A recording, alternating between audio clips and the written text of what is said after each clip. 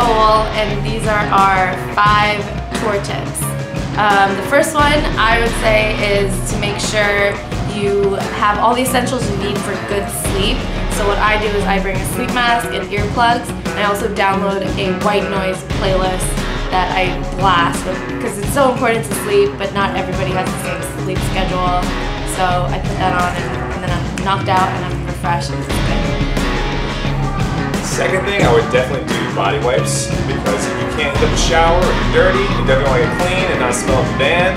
That's a necessity. And uh, a toiletry bag whatever everything else in there. Uh, I would say learn each other's personalities and their isms and avoid them accordingly. so there's no problems.